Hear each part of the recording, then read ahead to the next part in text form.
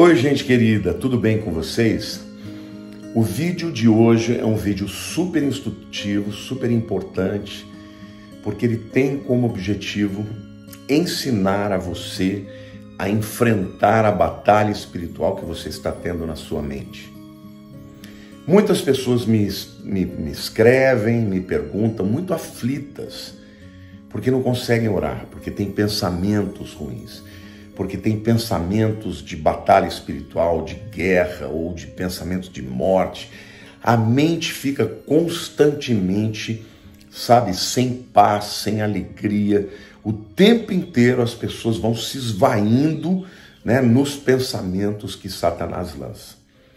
E muita gente fala, pastor, já não sei o que fazer, estou cansado. Alguns dizem, estou a ponto de desistir não consigo mais, a minha mente é, me toma e a batalha é muito grande.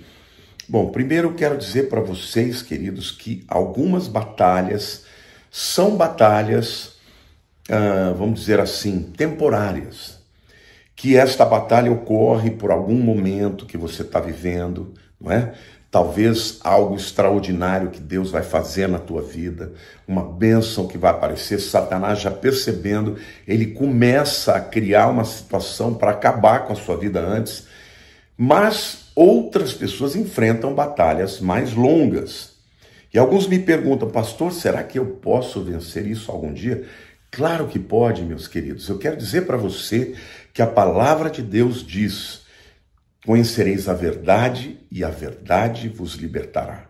Se, pois, o Filho vos libertar, verdadeiramente sereis livres. É importante você entender que essa não é uma batalha que você vai vencer sozinho. Então, ao invés de você querer desistir de orar, você precisa aprender a orar. Ah, mas pastor, toda vez que eu vou orar, eu fico pior. Aí que eu começo a ter pensamentos ruins. Eu me lembro que um dia eu estava aconselhando uma pessoa que disse: Olha, eu quase me afastei de Deus porque os pensamentos que vinham na minha cabeça eram tão ruins quando eu estava na igreja que eu preferi estar fora. Então, aqui eu quero fazer um parênteses, vou deixar para o fim essa análise.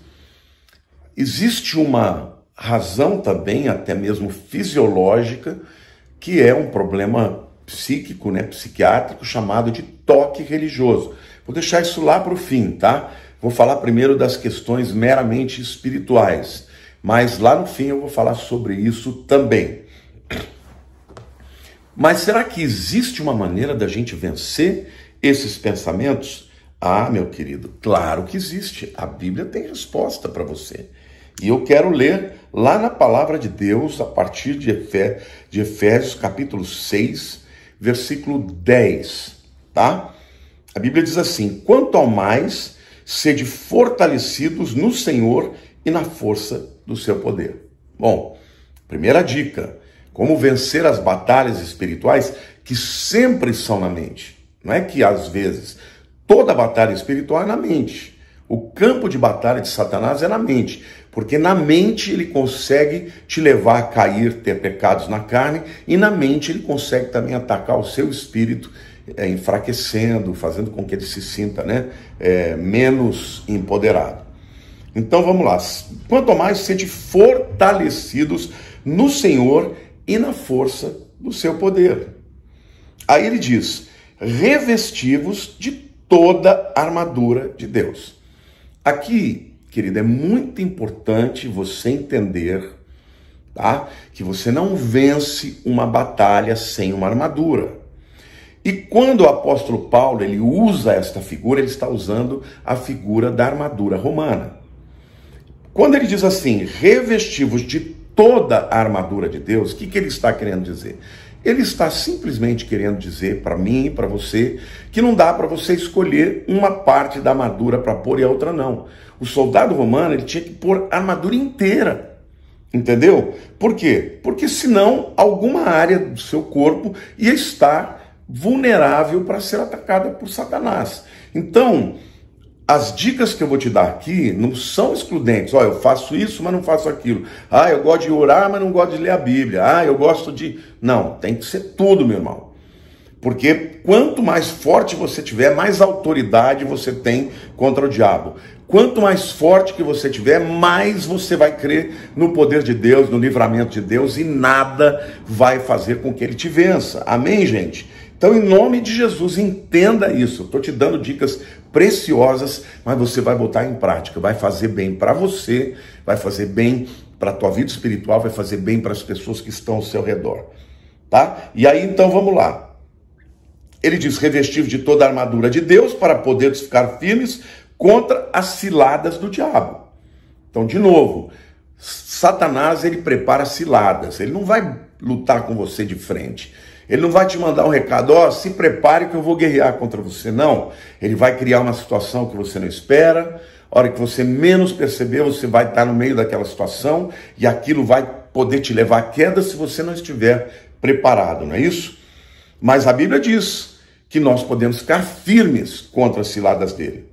Aí Paulo diz: porque a nossa luta não é contra a carne e o sangue, e sim contra principados e potestades, contra os dominadores desse mundo tenebroso, contra as forças espirituais do mal nas regiões celestes.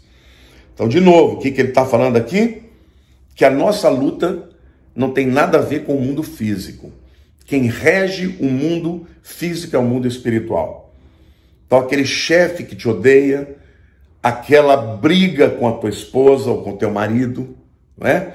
Aquela aquele ressentimento que ficou com alguém que era tão importante para você e deixou de ser, tudo isso foi cilado do diabo. E se você não tomar cuidado, meu irmão, simplesmente não sobra nada, você cai, você perde. Então, vamos lá, vamos continuar, vamos tomar posse, vamos aprender aquilo que o Senhor está nos ensinando. Aí o que, que ele vai dizer, gente? Ele fala assim: olha, portanto, tomai toda a armadura de Deus. De novo, ele está repetindo essa ideia de que tem que ser toda a armadura de Deus, né? Para que possais resistir no dia mal e depois de ter desvencido tudo, permanecer inabaláveis. Perceberam? Nós podemos vencer tudo, promessa de Deus. Em nome de Jesus, toma posse isso, gente. Estais, pois, firmes, tá? Começa com isso. Cingindo-vos com a verdade a verdade, gente, tem que ser ah, aquilo que, que permeia a nossa vida como um todo, né? Eu vou ler aqui no grego, olha, a palavra cingindo, perisonime, que é uma cinta ou um cinto. O que, que essa cinta, na verdade, era dentro da armadura romana? segurava a parte de cima, o peitoral, com a parte de baixo, deixava tudo amarrado, entendeu? Então a verdade tem que estar em tudo na nossa vida. E vestindo-vos da couraça da justiça. A couraça é aquele peitoral, né? Aquele peitoral que impedia, por exemplo, se o indivíduo recebesse uma flecha, que, que ele fosse ferido mortalmente. Tá? A coraça da justiça tem escudo também, mas a coraça é um peitoral que está aqui para proteger as partes moles, né? Numa guerra, numa espada que resvalasse. Então a justiça não é a nossa justiça, mas a justiça de Deus. É a justificação que está em Cristo, entendeu? Aí ele diz: calçai os pés com a preparação do evangelho da paz. O que, que é? a preparação do Evangelho da Paz. Sandálias fala de proteger o nosso caminhar. Então, nosso caminhar, gente, ele deve estar pautado por uma vida cuja mensagem é de paz. Evangelho é boa notícia. Boa notícia de paz, ou seja, nós estamos nesse mundo, a nossa guerra espiritual é contra o diabo, mas não é contra as pessoas. Porque quando você vê pessoas entrando em guerras, em disputas, em discussões, por qualquer razão que seja, por discordância política, por discordância espiritual, por discordância, é, sei lá, emocional, marido e mulher, é, discutindo a relação. Se você não tomar cuidado, aquilo pode criar um muro, um muro de separação, e isso traz consequências graves. E Satanás, ele quer criar um mundo exterior seu, desastroso para quê? Porque o objetivo dele é atacar a sua mente e, portanto, ele quer gerar uma batalha espiritual na tua mente para que você tenha uma vida miserável exteriormente e também uma vida miserável interiormente. Então, aí ele diz: calçai os pés com a preparação do evangelho da paz. Ou seja, não viva arrumando brigas, viva promovendo a boa notícia, a paz tem uma palavra pacífica, porque a Bíblia diz que a palavra branda desvia o furor, a, a palavra dura suscita a ira, a branda desvia o furor. A Bíblia diz que os mansos herdarão a terra. Então, meu querido, saiba disso, a nossa guerra espiritual é contra o diabo. Mas encha o teu coração e a sua mente de paz do evangelho, da boa notícia. Quando o diabo te acusar, apontar os, os seus pecados, você fala, mas Satanás, Jesus já morreu por mim. Meu pecado já foi perdoado. Eu, tô, eu estou livre. Meu pecado já foi coberto pelo sangue de Jesus. Vai, vai, vai tratar com ele. Eu não tenho culpa. Eu estou debaixo da graça, do perdão de Deus. Você não vai dominar minha mente. Então, cuidado com você acreditar as coisas que tá, nas coisas que ele está falando, gente. Aí o texto o, o texto continua dizendo, né? Embraçando sempre o escudo da fé, com o qual podereis apagar todos os dardos do maligno. Olha lá, que coisa interessante. O escudo da fé é uma coisa impressionante. A fé deve permear a nossa vida. O escudo do romano, gente, não era um escudo pequenininho. Você já deve ter visto em filmes que o escudo romano era um escudo enorme que cobria muitas vezes o seu corpo inteiro. Então, quando os inimigos lançavam né, as flechas, dardos inflamados, eram flechas pegando fogo. Né? Na ponta da flecha tinha betume e com, com óleo eles botavam ali né, fogo e atiravam. O escudo do romano ele, ele tinha uma couraça, além de ser de madeira, mas por cima da madeira, ele tinha uma couraça de couro que eles molhavam em água. Então, quando vinham as flechas, elas paravam no escudo e apagavam, porque estava molhada, não havia ali combustível para destruir o escudo. E é isso que a fé faz. As flechas, os dados inflamados do maligno, nada mais são do que pensamentos, do que acusações, do que ameaças, não é? Ele lança, do que dúvidas. Gente, sempre foi esse o, o sistema dele. Ele fez isso com Adão e com Eva. Fez isso com Jesus, gente. Não vai fazer com você? Então a batalha espiritual é sempre na mente. Como vencer? Usando toda a armadura. Veja, o texto está falando, você vai estudar lá depois. Efésios capítulo 6.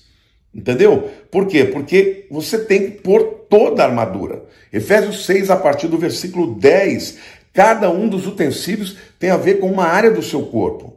Né? Quando a gente fala, por exemplo, né, da, da couraça, está protegendo o coração. O coração tem a ver com o quê? Com emoções, com sentimentos. Então, você precisa a couraça da justiça, da justificação de Jesus para te proteger das acusações, dos sentimentos que ele te lança. Mas também você precisa da fé. Fé, do, fé no que, irmãos? Fé de que Deus está no céu e que Ele é o Senhor que ele manda em tudo. Fé de que ele conhece o começo, o meio e o fim. Fé de que ele é bom. Fé de que ele se importa com a tua vida. Ele se importa com você, querido. Eu me importo com você. Quantas vezes eu me pego orando por você sem eu te conhecer? Quando pessoas me escrevem, às vezes eu fico super abalado com as coisas que as pessoas me escrevem, do sofrimento delas, às vezes eu até choro.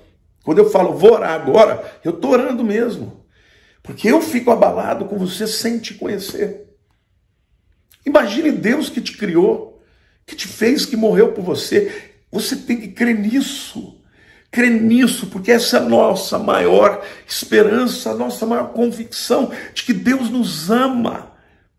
E o amor de Deus por nós não tem nada a ver com o fato de merecermos, Ele nos criou.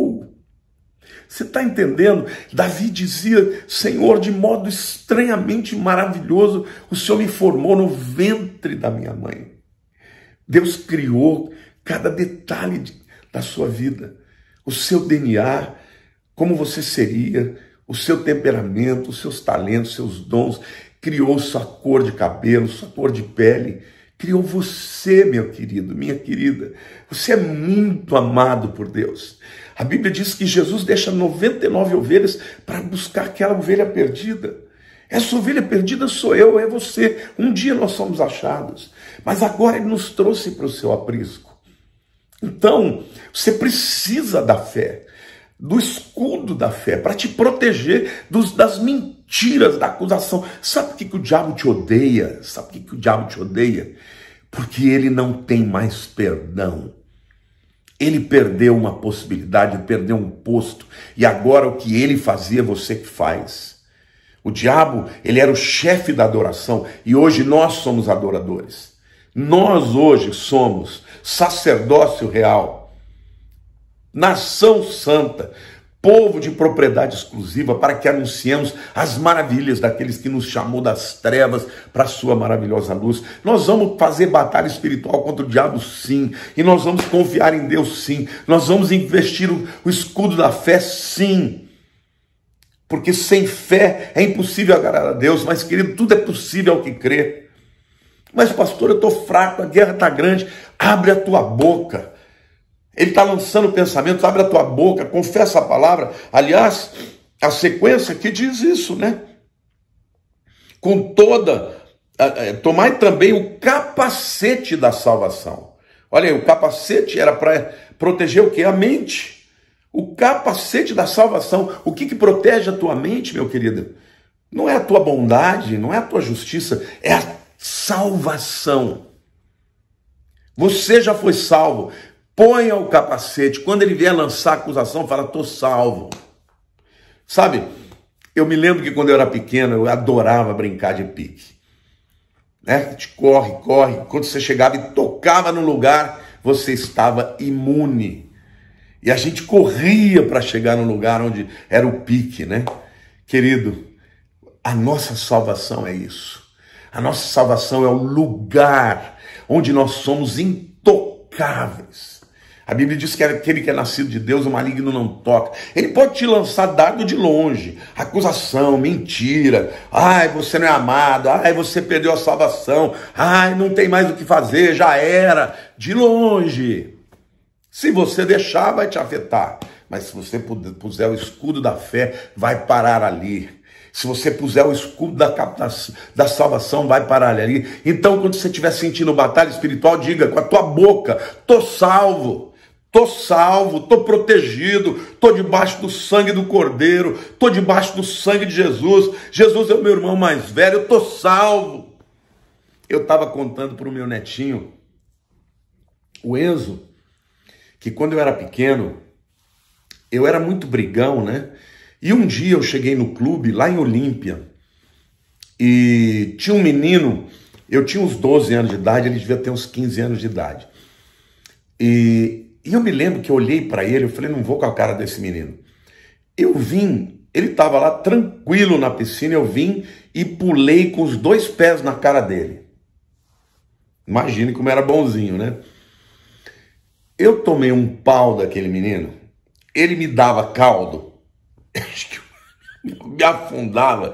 E a hora que eu levantava, eu, ele afundava de novo. Bom, eu sei que eu saí dali chorando, tive o que merecia, mas eu liguei para o meu irmão mais velho, Dojinho. Dojinho, vem me buscar porque eu apanhei no clube. Ele, Dojinho devia ter nessa idade. Eu tinha 12, ele tinha 25.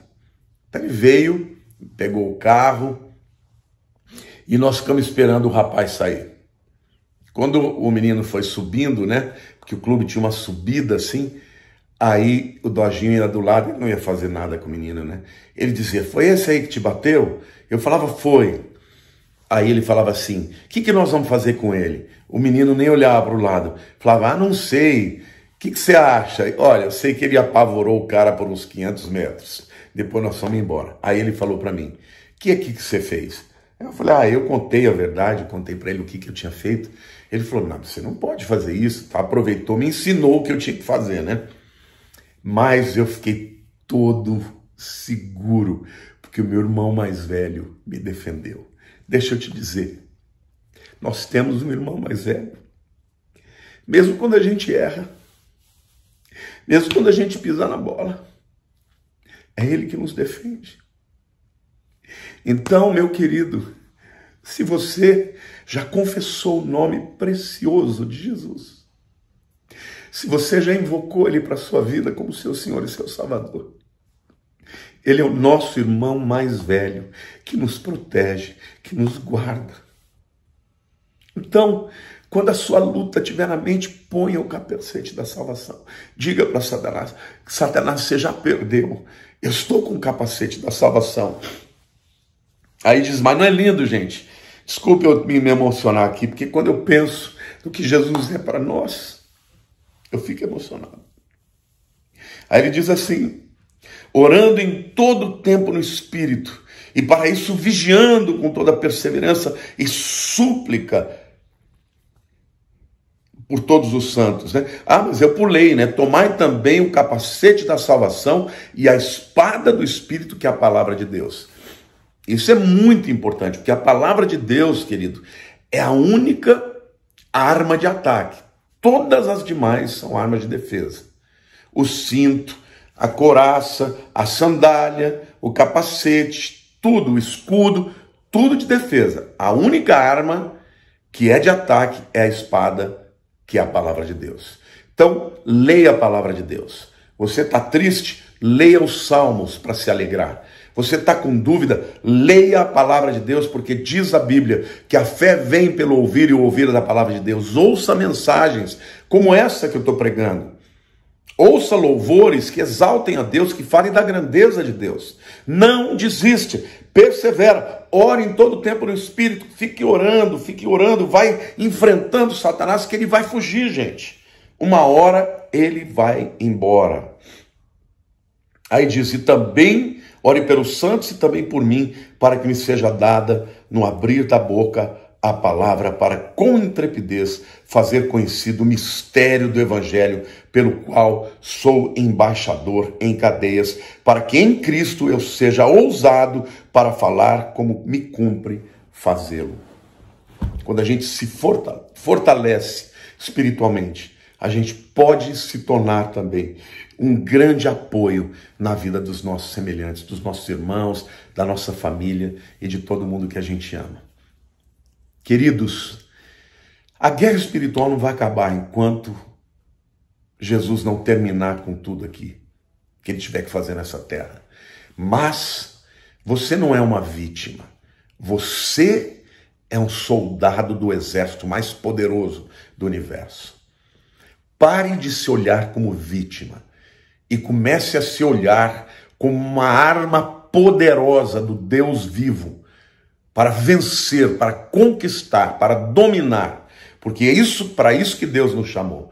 Deus não nos chamou para ficar com medo, com medo do futuro, com medo do apocalipse. Não. Essas coisas vão acontecer, mas nós somos protagonistas. E sabe o que a palavra protagonista significa?